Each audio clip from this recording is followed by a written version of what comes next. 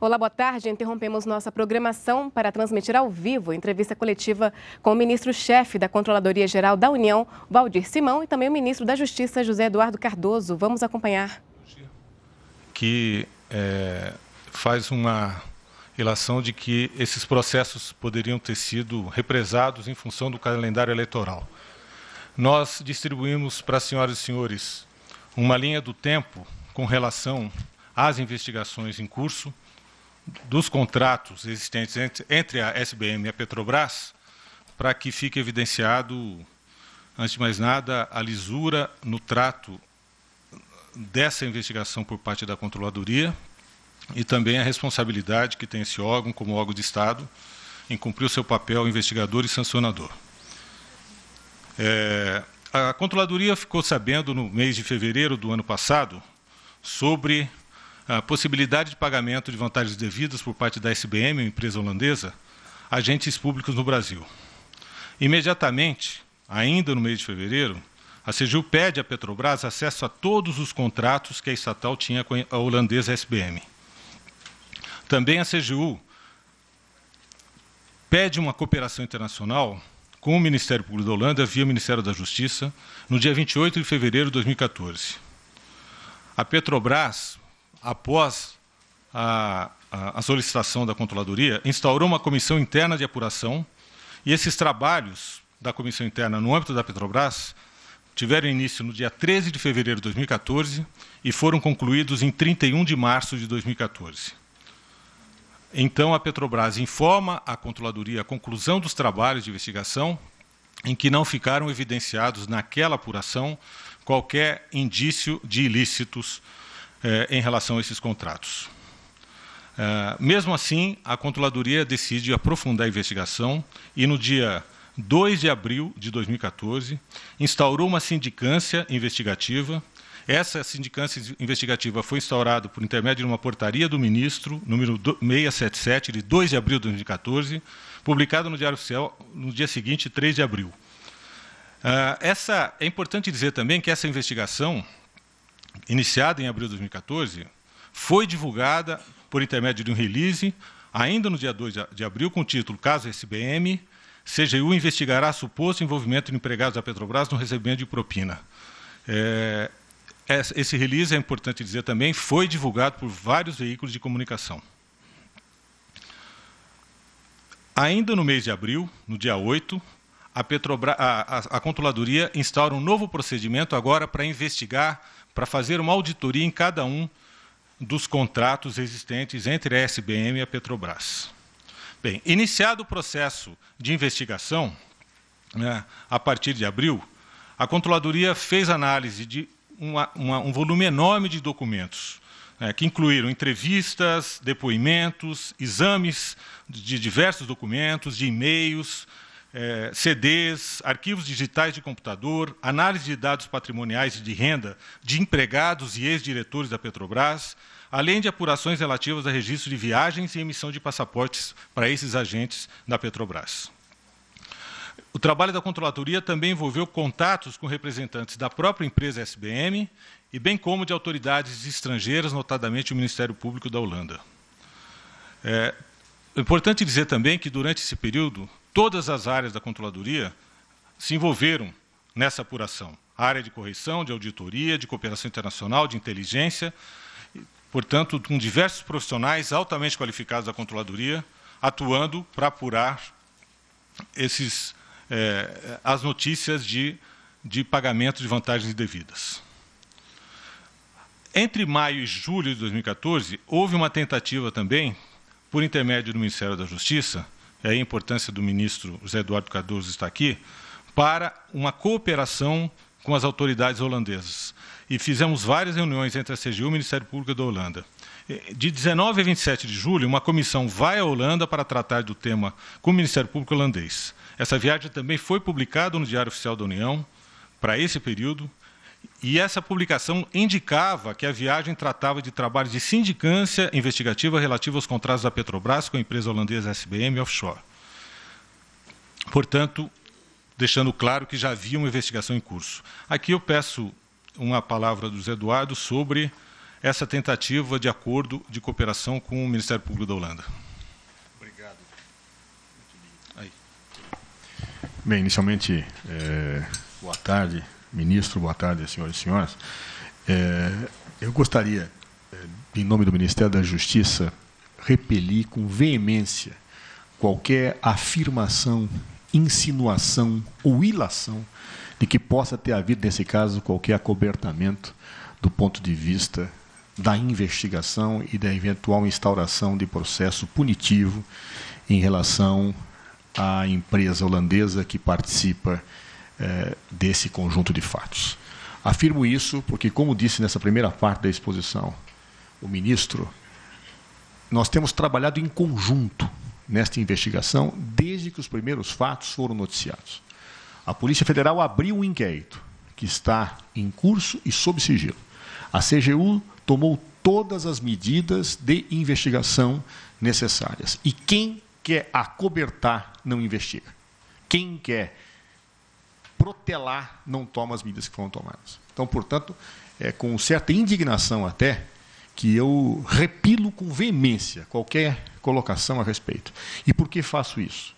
Porque já no início, do, do, quando surgem as primeiras notícias, a CGU, através do então ministro Jorge Raj, é, nos oficia é, pedindo a colaboração com o governo holandês para que nós pudéssemos ter elementos da investigação que seriam indispensáveis, uma vez que é, nós precisávamos ter indícios suficientes para a abertura de qualquer processo punitivo. Então se pede para a Holanda isto. Né? Eu tenho até as correspondências todas aqui do ministro Jorge Raj, me pedindo já em fevereiro, se não me falha a memória, né? a colaboração com o Ministério da Justiça. Isso foi encaminhado para a Holanda.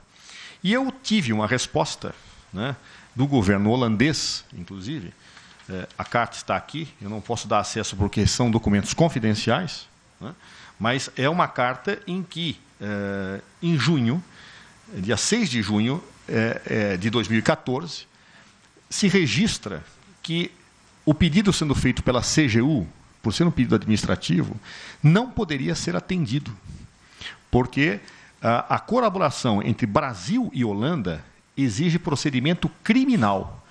Então, eles nos indagam se poderia ser feita alguma solicitação para instrução em aspectos criminais.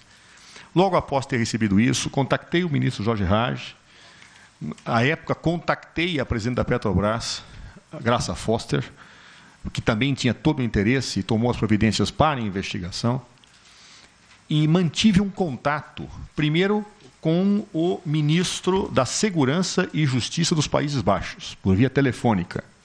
Isso foi feito no dia 9 de junho. Primeiro me contactei com ele justamente porque é a minha contraparte na Holanda.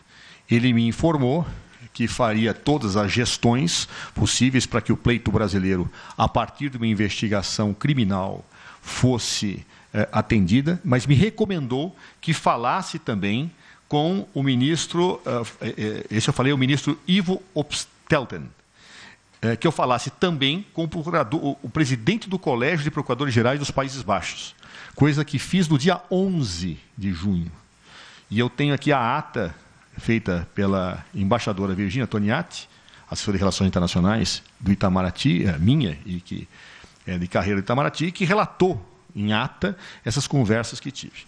E o procurador-geral eh, dos Países Baixos nos disse então que fizéssemos, com base no inquérito da Polícia Federal e nas investigações feitas pelo Ministério Público, o pedido de colaboração, porque aí então poderia ser atendido. O que então foi feito.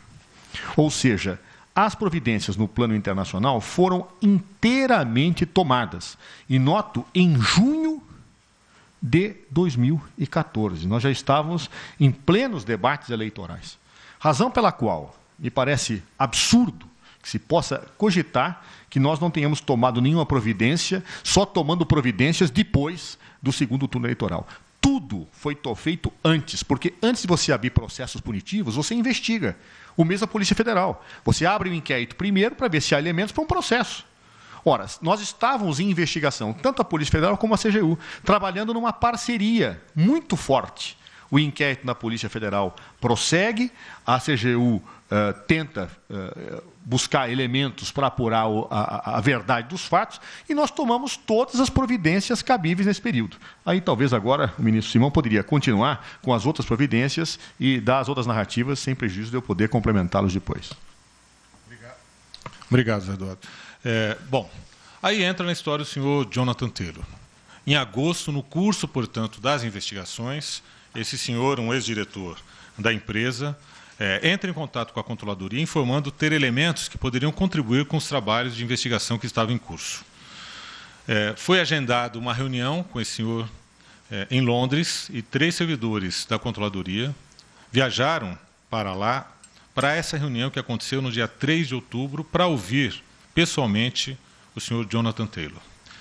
É, duas questões importantes, importantes. A primeira, que o, o senhor Jonathan Taylor Taylor indagou os servidores da controladoria se haveria alguma recompensa financeira pelas informações que ele poderia prestar. E nós informamos a ele que não havia qualquer previsão eh, legal aqui no Brasil para que ele recebesse esse tipo de benefício. A segunda questão, a, a toda a documentação apresentada pelo senhor Jonathan Taylor tá, é, foi analisada pelos nossos técnicos e nenhuma dessas, desses documentos foi utilizado para a conclusão do processo de investigação. Porque não havia segurança de, da licitude da obtenção daqueles documentos. E, para não colocar em risco o processo investigativo e também uma eventual punição à empresa, a decisão dos servidores foi de não utilizar os documentos que o senhor Jonathan Taylor, Taylor tinha em curso, tinha em suas mãos, porque estava também em curso uma investigação para apurar a, a origem desses documentos é, no âmbito da própria, da própria Holanda. Bem, voltando ao processo de investigação, a comissão conclui parcialmente o seu trabalho é, com relação à SBM e, no dia 12 de novembro, encaminha ao ministro da Controladoria Geral da União é, uma, uma sugestão, é, uma comunicação dizendo que já reunia os elementos é, que comprovavam a responsabilidade da empresa e sugere imediato, a imediata abertura do processo de responsabilização contra a SBM, o que aconteceu e foi divulgada naquela data, 12 de novembro. Então, a investigação começou em abril, foi divulgada durante todo o período de sindicância investigativa. Os atos praticados constam de um processo de investigação que suportaram, na, após a, a a coleta de provas e de, indícios de que havia responsabilidade da empresa no pagamento de vantagens devidas a, a, funcionários da Petrobras, isso culminou com, em continuidade, em sequência, um processo de responsabilização contra a empresa SBM. É, essa, esse processo ainda não foi concluído e, no curso do processo, já com base na nova lei anticorrupção, a empresa, em 17 de março de 2015, manifestou interesse em cooperar com a investigação, assinando um memorando de entendimento com a Controladoria, com a intenção de assinar um eventual acordo de leniência. Acordo esse que aguarda uma manifestação do Tribunal de Contas da União para que a gente possa dar consequência. É, então, esses foram os fatos na sua ordem cronológica para demonstrar claramente que o processo de investigação começou muito antes do período eleitoral, não houve qualquer vinculação e a Controladoria repudia veementemente qualquer ilação que associe a sua atuação nesse processo de altíssima responsabilidade e, e, e também de interesse público ao calendário eleitoral. Eu só, se você me permite, então, ministro, é, complementar e, e frisar até a profunda indignação que tenho ao verificar uma afirmação dessa natureza. É, é, diante de tudo que foi colocado, eu pedi até um relatório detalhado do DRCI né, sobre todas as providências. Eu tenho aqui o ofício do ministro Jorge Rage, né, que é de fevereiro, ele, ele encaminha o pedido de cooperação. Tenho aqui as respostas, o encaminhamento em 5 de março para a Holanda, tu, relato das reuniões que foram realizadas no exterior, tudo aquilo que foi feito num esforço para a obtenção uh, desse, desse material. Quando há o retorno, que só poderia haver a colaboração para fins criminais, o meu contato com o ministro da Justiça holandês, o meu contato com o chefe do Colégio de Procuradores do Ministério Público, o novo encaminhamento, tudo isso foi feito dentro da sequência normal de uma investigação. Não houve uma situação em que se diz, ah, vamos parar agora para ver como é que fica. Ao contrário, durante o período eleitoral, as investigações foram feitas. E ah, os documentos trazidos pelo delator eh, foram devidamente apreciados pela CGU com o peso probatório e com a avaliação de legalidade que poderiam ter naquele momento. Então, portanto, após concluído o ciclo de investigação, aí você faz a abertura de um processo. É assim que acontece em qualquer eh, lugar, a ponto que a própria investigação criminal não acabou ainda. Ela está em curso com o inquérito. Não houve denúncia do Ministério Público ainda a respeito, porque ainda está se apurando no plano criminal. E aí eu não posso entrar em considerações sobre este aspecto, porque são âmbitos independentes e o inquérito criminal uh, corre em sigilo. Então, portanto, eu quero uh, dizer que o governo, seja pela via da CGU, seja pela via dos órgãos do Ministério da Justiça, seja pela Polícia Federal, agiu dentro da lei com o máximo rigor, que é a orientação do nosso governo, para apurar todo e qualquer indício que possa existir de uh, práticas de atos lesivos ao patrimônio ou de corrupção. Razão pela qual, então, nos parece justo que nós demonstremos aos senhores o que foi feito para que cesse toda e qualquer dúvida possível em relação à lisura que tivemos no que diz respeito a esse fato. Com rigor e competência, porque foi possível, no processo de investigação, reunir os elementos para responsabilizar a empresa o que está acontecendo nesse exato momento.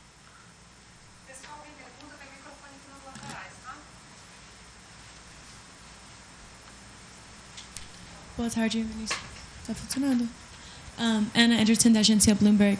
Queria saber se existe uma preocupação que esta denúncia um, pode sugerir que a CGU não é independente suficiente para assinar acordo de leniência. Porque existe essa preocupação. No TCU agora, o procurador Oliveira sugeriu que os acordos de leniência devem ser assinados com a MPF antes de ser assinados com a CGU e esta decisão deve ser decidida amanhã no TCU. Existe essa preocupação da independência do CGU? Bom, a, a CGU é um órgão de Estado, composta por servidores de carreira de altíssimo nível, e são esses servidores, por intermédio de processos bem regrados, por instruções normativas, por decretos, por leis, que apuram a responsabilidade das empresas e, eventualmente, venham a propor a assinatura de um acordo leniense. Então, o acordo leniense é um instrumento técnico previsto na lei, e a lei deu à Controladoria Geral da União competência para assiná-los. A Controladoria atua com independência técnica, com responsabilidade e tem demonstrado claramente ao longo da sua história que exerce essa independência com muita competência e não é por outro motivo que a gente tem tido nos últimos anos um nível recorde de apuração de responsabilidade não só de agentes públicos, mas também agora de empresas que tenham cometido atos lesivos contra a administração.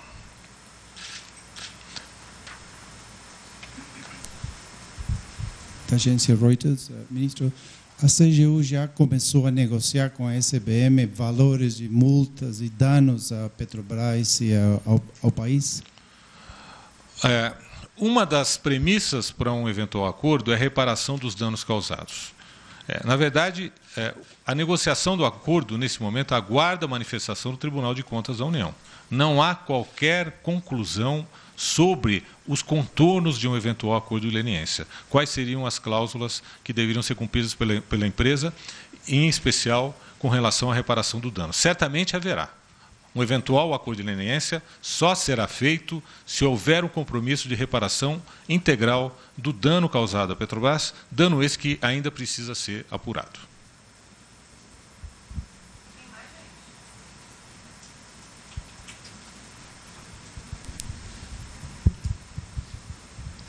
É, ministro Roger, minha pergunta é sobre a auditoria do, dos pagamentos dos servidores federais.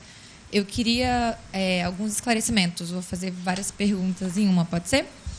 É, eu queria saber essa economia, ela é a partir de agora? É, a auditoria prevê a devolução desses valores, que tipo de inconsistências foram encontradas e que tipo de providências foram tomadas. Eu vou sugerir que perguntas com relação a esse tema sejam respondidas pelo secretário federal de controle interno, doutor Francisco Bessa, tá? Porque foi uma investigação conduzida pela secretaria dele. Pode ser? Okay. Doutor. Podemos deixar para o final? Podemos? Ok. São duas dúvidas, na verdade. É, a primeira, por que, que quando o delator procurou a CGU em agosto, é, o encontro só, só ocorreu em outubro, dois meses depois? Essa é uma dúvida. A outra, eu queria pedir a gentileza do senhor repetir é, o que, que aconteceu com os documentos que, que ele enviou. Enfim, se vocês não chegaram à conclusão se aquilo seria verdadeiro ou não, houve que tipo de suspeição havia sobre essa documentação? Bom, é, com relação à agenda, o histórico que nós temos disso é que foi a data possível de encontro estabelecida. Nós estamos falando de, um, de uma reunião é, que aconteceu num outro país, que envolveu o deslocamento de servidores. Então, foi a data arranjada com o senhor Jonathan Taylor, é, que era conveniente para ele e também para os técnicos da controladoria. Mas, nesse período, houve troca de informações por e-mails com o senhor Jonathan Taylor. Tá? Com relação às provas apresentadas, é, o receio, havia, ah, ah, haviam notícias de que essas provas haviam sido obtidas de forma ilícita pelo senhor Jonathan Taylor. Haviam notícias na imprensa internacional de que o senhor Jonathan Taylor havia, tinha essas provas, esses documentos, é, e teria obtido isso de forma ilícita. É, o receio da controladoria era utilizar provas que pod poderiam viciar todo o processo de responsabilização se elas fossem consideradas efetivamente ilícitas depois. Então, para a segurança do processo de responsabilização, a decisão no momento, naquele momento foi de não utilizar os documentos e as provas que o senhor Jonathan Taylor gostaria de apresentar. Até porque a comissão de investigação eh, já tinha vários indícios e elementos que poderiam levar à responsabilização da empresa. Então, elas não foram necessárias, de um lado, para a responsabilização, e do outro lado, a utilização delas poderia, caracterizada a sua ilicitude, né, é, trazer essa ilicitude, ilicitude para o processo de responsabilização, o que seria é, muito é, ruim para que nós tivéssemos uma sustentação dessa responsabilização, em especial no âmbito judicial. Se o senhor ministro permite, eu quero estar fazendo um adendo dizendo que, a meu juízo, e ao ver do Ministério da Justiça, a postura da CGU foi rigorosamente correta no que diz respeito a essa questão da preservação do valor de provas. Não são poucas as investigações que são anuladas mediante a acusação da origem ilícita de provas. Então seria um desastre você fazer toda uma investigação em que você chega ao final e não pode praticar a punição porque a origem é ilícita. Eu vou dar um exemplo para vocês atual, para que vocês percebam como foi correta a CGU. O caso SwissLeaks. Né? No caso SwissLeaks, a Receita Federal recebeu de um jornalista certos documentos que obteve uh, através de um jornal na França que diz respeito a eventuais atos ilícitos de evasão de receita que teriam sido praticados, na medida em que você teria mais de 8 mil brasileiros que teriam contas num banco suíço. Alguns desses nomes foram entregues à Receita Federal. Ora, nós tínhamos um problema. Eu mandei abrir o inquérito, a Receita Federal estava investigando. Mas a origem daquilo precisava ser atestada sob pena de anular-se as provas. A Receita Federal diligenciou, junto às autoridades fazendárias francesas, que já remeteu para a Receita Federal os dados, só que eu, no Ministério da Justiça, não posso ter o compartilhamento desses dados, por força do acordo fazendário. Nós estamos indo junto à justiça francesa, através do governo francês, para conseguir os mesmos documentos pela via criminal. Porque se a Receita me passa esses documentos, a investigação criminal pode ser nula. Se ao invés disso a Receita tomasse todas as medidas investigativas com base naquilo que recebeu do jornalista, poderia haver anulação da prova. Então você tem que tomar muito cuidado, porque, aliás, quem quer acobertar age de forma assodada. O que, que faz? Pega, investiga e anula. É assim que um mau investigador faz. É assim que nós conseguimos ter impunidade. Quando você age de maneira assodada, sem avaliar juridicamente os riscos que corre, para que efetivamente preste uma satisfação à opinião pública num primeiro momento, mas depois eh, deixe sem nenhuma punição as pessoas. A CGU agiu rigorosamente. Ou seja, as provas foram solicitadas pela via da cooperação internacional no Ministério da Justiça, nós fizemos gestões junto à Holanda, e quando aparece uma pessoa apresentando documentos, inclusive aparentemente fazendo algumas solicitações indevidas, claro, em relação a recompensas e coisas do gênero, a CGU teve toda a cautela e prudência, porque as provas poderiam, mesmo que eh, provadas depois, ensejar a nulidade da investigação. Acho que tem, eu tenho mais uma pergunta lá ainda. Ó. E aí? Tá bom? Daí... Desculpa, é só para concluir, obrigado. É, a, primeira, a primeira coisa é a seguinte. Primeiro, quando os, são duas também.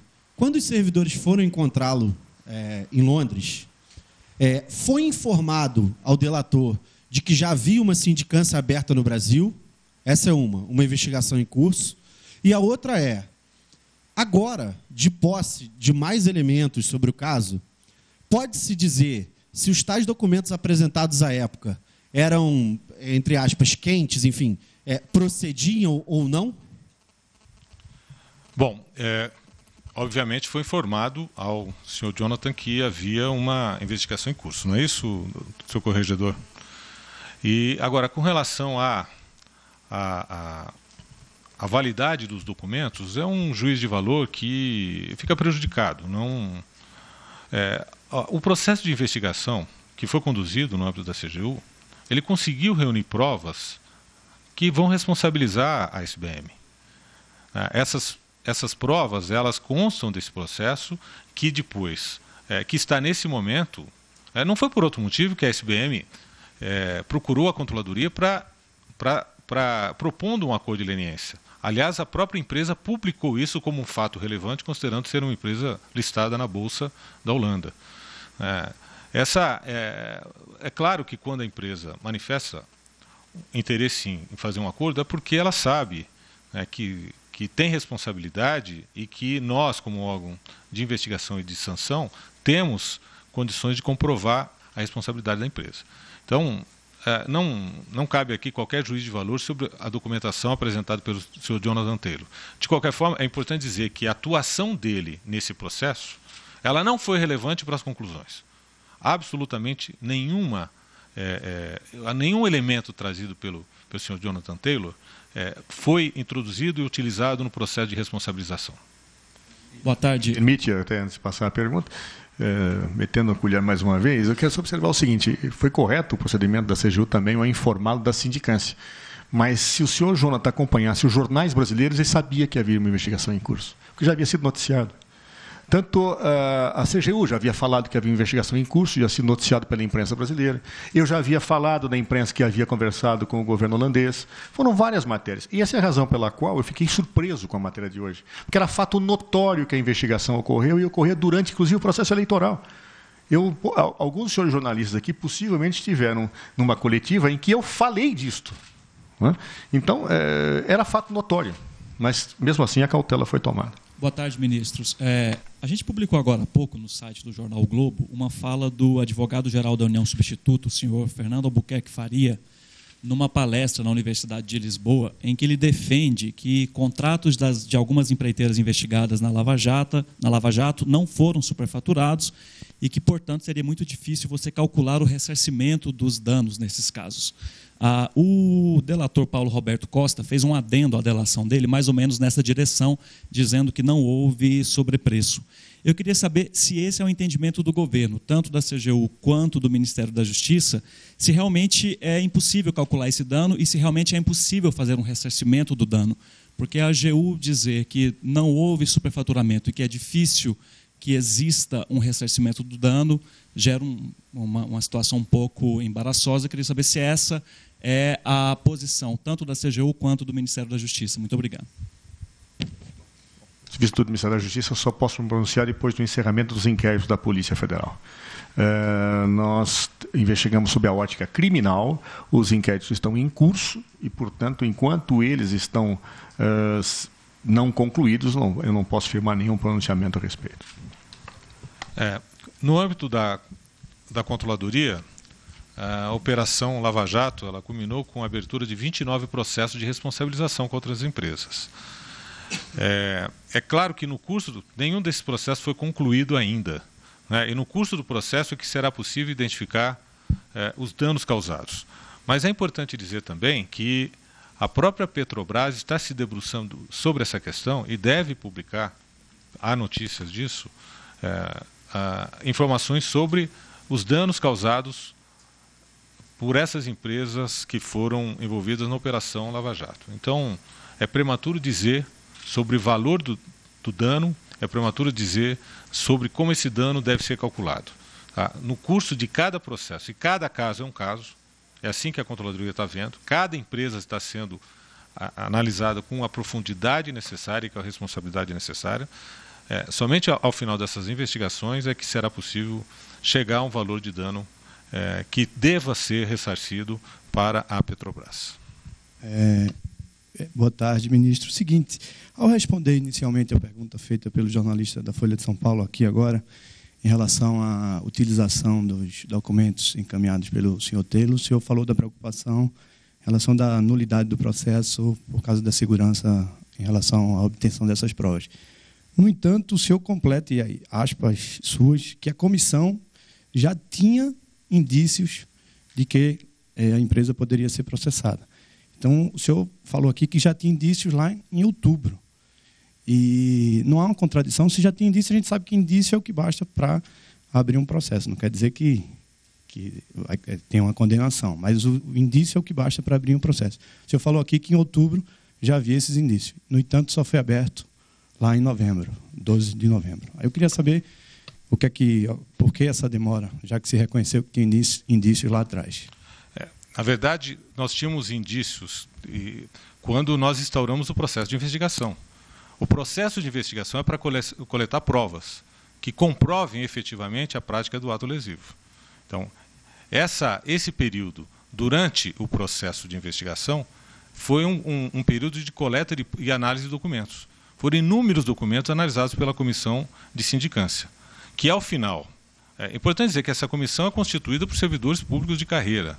Ao final, no dia 12 de novembro, eles propõem ao ministro, a partir de um, de um, de um conjunto de provas coletadas, né, a instauração do processo é, de responsabilização contra a empresa. E a partir daí é que se instaura o contraditório, em que a empresa tem, inclusive, o direito de defesa. Né? Então, até lá foi uma, uma coleta, você tinha alguns indícios, mas você não tinha todas as provas já produzidas pela comissão. Tá? Ali um adendo só final. Eu acho o seguinte, quando você. O indício, ele serve para você abrir uma investigação. Você abre a investigação. Quando você reúne provas que, a teu ver, dá margem à punição, você abre o processo. Você tinha uma comissão de sindicância, que foi instaurada a partir dos indícios. O tempo dela é o tempo da conclusão da investigação. Conclui-se a investigação, se abre o processo. É uma situação, é como acontece no inquérito policial. Né? E, evidentemente, o tempo da investigação é o tempo dele, não é o tempo político, não é o tempo da vontade, não é o tempo de quem quer que seja. Né? Ou seja, é uma comissão constituída por servidores públicos que, a partir de indícios, começou lá em fevereiro. Tá certo? Só que, quando ela termina o seu trabalho, haverá o processo punitivo. O mesmo acontecerá com a Polícia Federal. Ela faz os inquéritos, quando ele conclui, haja denúncia. Só espero que amanhã ou depois não se diga que a denúncia só aconteceu agora do Ministério Público por causa das eleições também, uma vez que os inquéritos ainda estão em curso.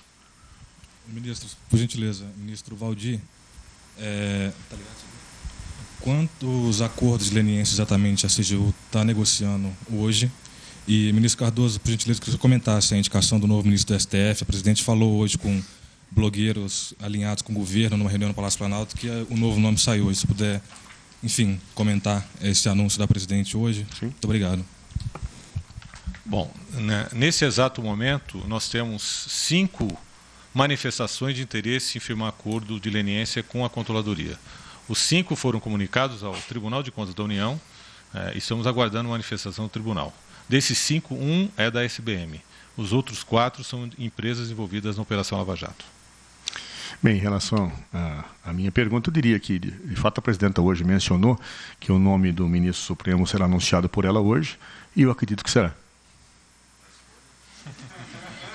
E eu acredito que será anunciado por ela hoje. Eu não, não tenho razão para duvidar da palavra da presidenta. Pessoal, obrigada. Você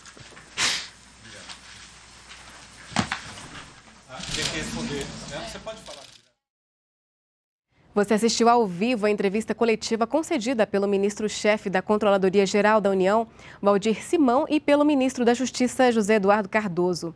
Eles atualizaram o andamento das investigações realizadas quanto às denúncias de corrupção na empresa SBM Offshore, um grupo empresarial que presta serviços para a indústria pe petrolífera brasileira.